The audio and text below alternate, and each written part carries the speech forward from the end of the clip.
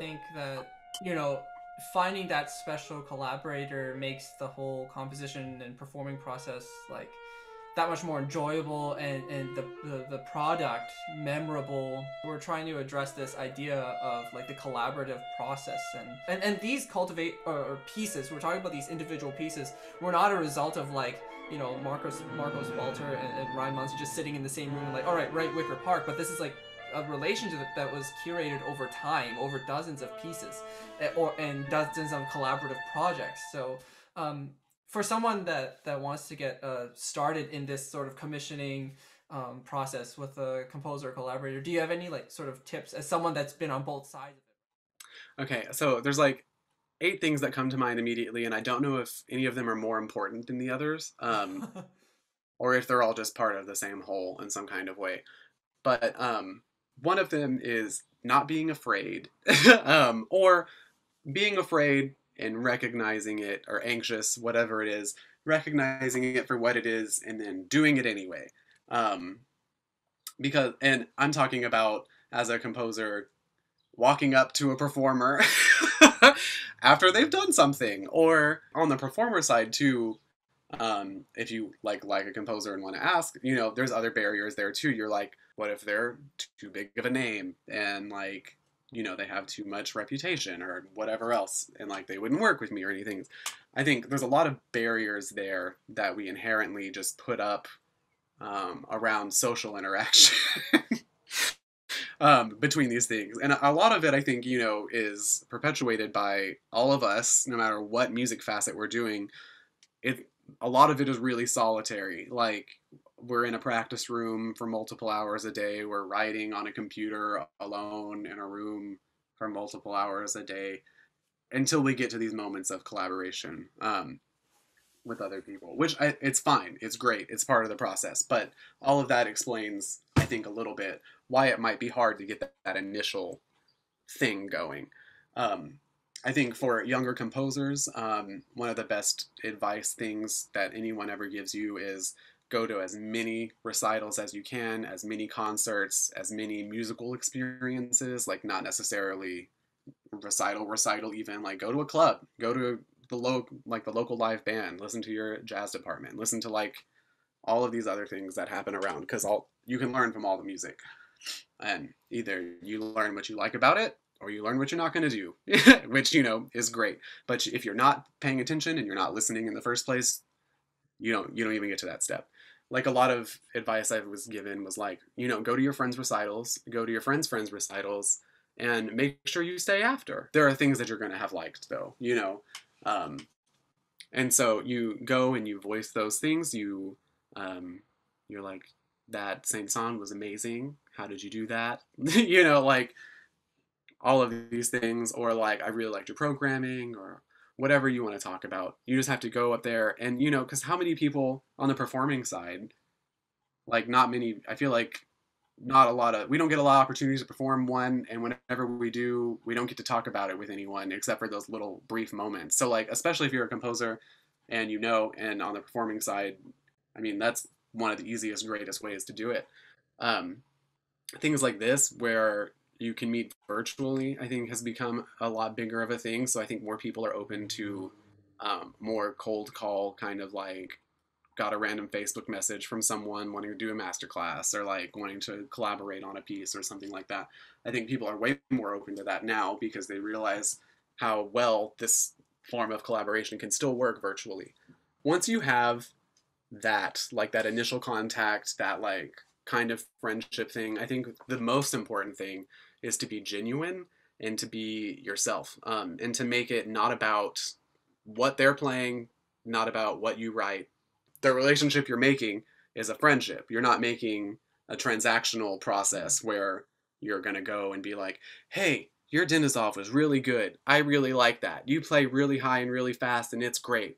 I write really high and really fast, and you know, I think it's cool. Do you want to play it? Like that's that's not how it happens. It's wow, Denisov was great. I thought you really emoted there. Like, what were you feeling? You know, how do you feel about that performance? What's going on? You know, like something that gets to the actual person and shows that you care and then invites a conversation where they can ask those things back and like you can just start being friends you know go get a beer after do whatever um, but don't make it about business up front um, and like let the business part happen organically i think is the other thing and i say business loosely i mean the writing the art that's what we're doing here. Um, let that happen organically once you've got the friendships because i think um, someone will be way more willing to go to bat for you play your music get the word out do any of those things um, if y'all have a genuine connection and like are friends and you can like call like something like this even where i'm like hey jeff. Um, you know like those are the kind of relationships you want to foster and that you want to build and make um, and that will lead you to um, repeat performances. They'll in- introduce you to someone else to collaborate with or all of these other things but um, like it starts with you being genuine. And sometimes you know that's hard. Like that's another barrier that's like hard to get past. Um, it's also hard with performers sometimes like sometimes you can feel like you're being really really open and you get a wall back and that happens you know people are weird people are different most composers are weird um, so just like know that going into it know that we're weird and we're okay with it and it's gonna be fine um, Performers are plenty weird too. Like, let's be honest. Like, no one's exempt from the weirdness. I mean, we're all doing this, right? yeah, exactly. For looking to collaborate first, that those are my main tools so far. Is um, recognize your intrusive thoughts, get get over them if you can, make those connections, become friends with people. The, I, the way that has worked out for me is I just have close friends that happen to also play horns or whatever they do or conduct or whoever. And I mean, like, I'm collaborating with um, Hannah Boissonneault. Um, she's a master's student at Michigan right now. And she has been writing me this electroacoustic piece um, with saxophone and electronics. And like, we worked on it for almost six months for parts of last year and then like some this year. But most of, we'll get on the phone to like collaborate or Zoom or whatever like this and we just talk for two hours. and then at the end of that, we're like, ah, we should probably like maybe actually do some music stuff or like answer some of these questions or like get a playing demo or something going Mhm. on, right? And then we do, and it's fine. But like the, I think the the point there is that our relationship is not built off of you can do this thing for me, we can help each other out. I can do this thing for you. You know, it's more of like a you're a human too making music I'm a human making music. We have something to bond on. We can talk about like we're in a similar boat kind of thing. You know, um in terms of like actually writing and actually working with the people, I think that's like a maybe a step two from the moment that you can start collaborating or the earlier you can start collaborating um, and have these moments of like group idea input um, the better because I've had some times where I go into um, like a meeting session with an ensemble that maybe I've never met with before, whoever, um, a friend of a friend or something, and I have an idea for a piece, and I think it's going to be great and cool, and they're not really into it. And so, like, what do you do in that situation? Like, do you write what you wanted to write anyway? Do you like sacrifice your values, whatever that means, to make your piece fit what they want, or do you do something completely different? Um, and my question in this situation for my old self was like, well, what would have happened if you went in and asked them what they liked and wanted to do first, um, instead of just coming in with these ideas that you wanted to have done? Um, I think at the end of the day, you know, composers aren't like puppet master people like to control performers and make them play their music or whatever. It's like a a friendship, genuine like how do you navigate all of the things around making art with someone else that also does it. Um, so yeah, in that old case, I would have been like, well, what do y'all like to do? Um, and now, most of the time, whenever I start collaborating with someone, I'm like, tell me things you hate. Like, tell me things that you really don't want me to write. Like, you don't want to scream? Cool. You don't want scratch tone? Got it. Like, because a lot of people will be like, I really don't like blank or something like that. A lot of people know what they don't like, Mhm. um, and then they sound pretty good on almost everything else, and then they don't they don't tell you what they like. Some people are like, I like lyrical altissimo playing. Jeffrey, um, and so sometimes you write lyrical altissimo. You know, um, it depends on your person. But yeah, it starts from there. I think. I think that's where, and then it's nice because I mean they know the instrument. If they know you, they know like kind of your gist as a person. They know like your thought process, kind of, and they like y'all can come up with something together that then you can go on um, and write about. Whenever you're actually writing, writing, um, my first inclination for no matter what it is is write whatever you feel first. Right, whatever you think you're hearing, right, whatever you think you want them to do first. Get all that out and then take it to them. and then this is where like the actual collaboration starts. Like, so I could write a thing for solo saxophone or whatever, and I'd be like, I only want you to play altissimo D and higher at pianissimo because I think it's like a really cool, quiet, whispery, like broken swing kind of sound or something like that. And you're like, no. you're like, not for me. Then you change it. Most of the times, the performer is like, well, that's real hard to do up there, but I can do it in this range. I can do it in these ranges. If you wanted the like the high pitches but quieter, like these pitches work better you know, you can just open that dialogue about like what's happening in the mm-hmm. piece and what goals you're trying to get out of it.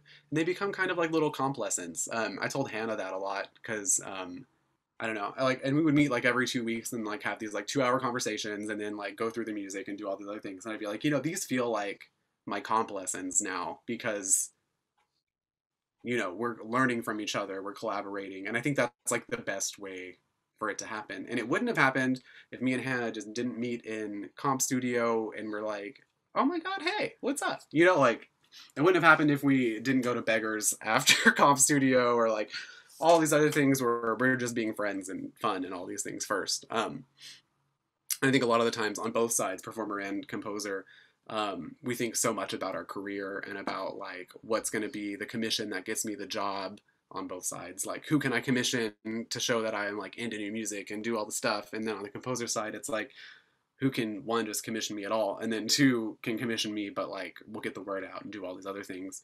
And I think you can mitigate a lot of that by being genuine and upfront at the beginning um, about like who you are and things like that. Um, the reason to write whatever you want first is because it's always easier to pull things back than it is to like expand on them and make them mm. more. Um, because you can, I mean, you can, it's really easy to rein stuff in because you can just be like, this, I understand what you're going for, but it won't work. and it's like, then you can go on and be like, well, what makes it not work? Is it the leap into it? Is it the range specifically? Is it that I'm having you at a dynamic? And then you learn more about the like the instrument and the idiosyncrasies of um, you know what you're writing for.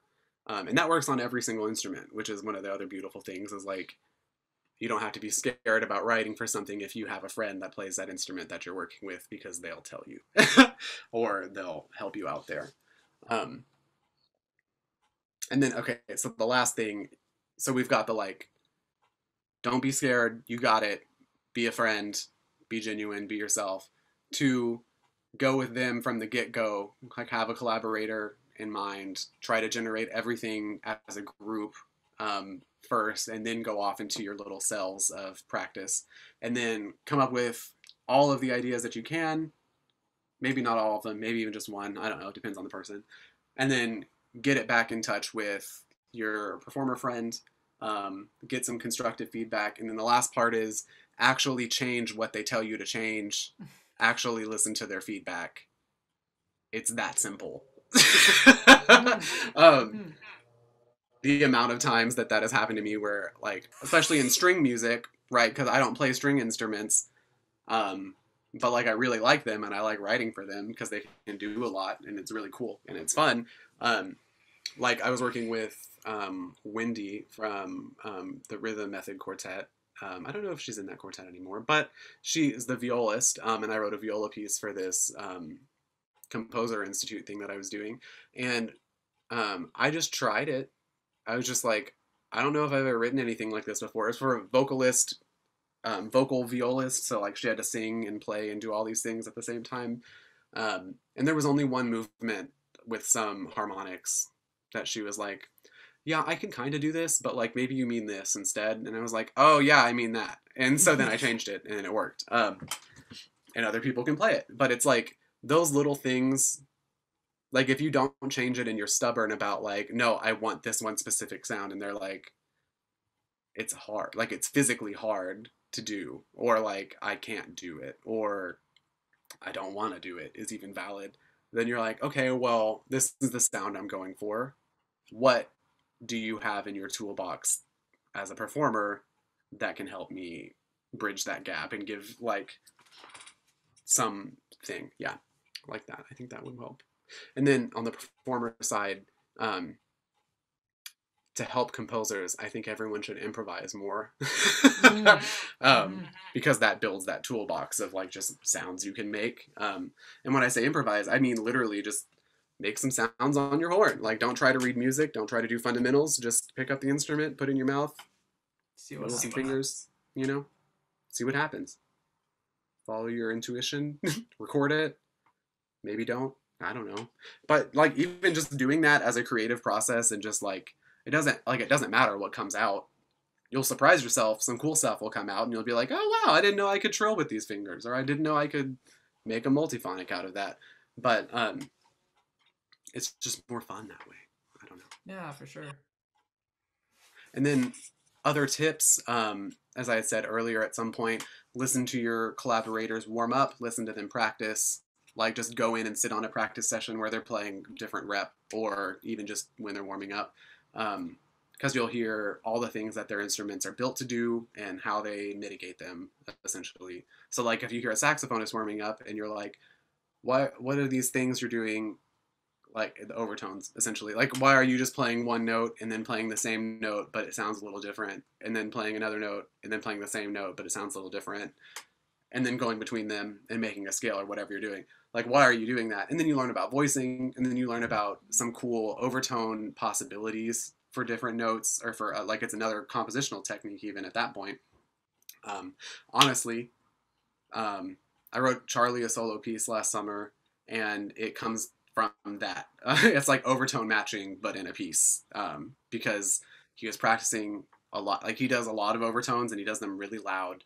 Um, and he was also doing a lot of jazz last summer. So I was like, okay, so I'm gonna write something that's over Tony and has like some of these figures that he works on constantly, which was like seventh arpeggios. Um, and that was all I needed, and I made a piece out of it, and it worked, and it's fine. Um, and it's a really weird, unique piece, I think, because of the collaboration. Charlie's my roommate, um, play saxophone. We like made it in the basement, you know. It was just like a fun little thing. Um, but that wouldn't have happened if I didn't know that Charlie liked practicing those seventh patterns or all these other things, you know. And I think something like that, um, that's like where you get your your in for your piece being good or whatever it is about it. Um, it's like if it can fit to whatever your person likes to do. And sometimes they don't know and they don't tell you, but you hear it whenever they're practicing. Like, oh, you really liked that one lick in the whatever because you played it 487 times. I think the only other thing that I can say on solo stuff is like, um, um, Yaz wrote a piece for me um, we wrote each other pieces as our commission fee, which was real fun. Um, Mhm. It's also fun to have performer composer friends like that because you get to do stuff like that.